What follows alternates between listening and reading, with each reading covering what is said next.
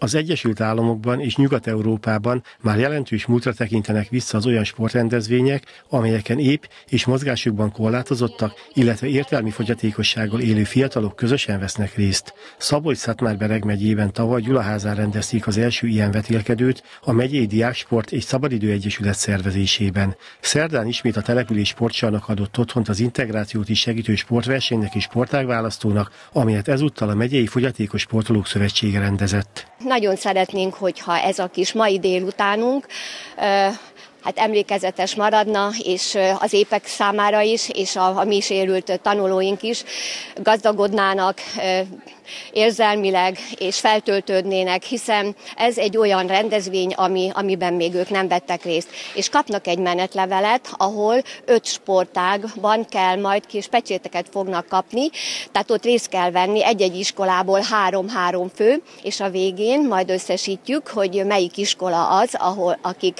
hát a legtöbb érzékenységi próbában szerepeltek. A szervezők igyekeztek a rendezvényen résztvevő fiatalok felkészültségéhez megfelelő gyakorlatokat összeállítani. Sérült és egészséges gyerekek tudnak együtt versenyezni.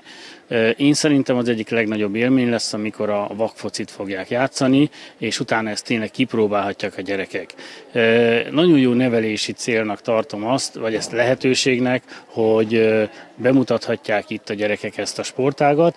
Ezen kívül természetesen megmutathatják azt, hogy kerekesszékből hogyan lehet szalonmenetet követően kosára dobni, de lesz a darts verseny, lesz a bocsa, ezt külön termekben fogjuk csinálni. Ezek mind-mind jó lehetőséget biztosítanak arra, hogy egészséges és sérült gyerekek együtt versenyezhessenek. Bár a különböző versenyszámoknak voltak győztesei, ez volt az a rendezvény, amelyen tényleg nem a győzelem, hanem a részvétel volt a fontos.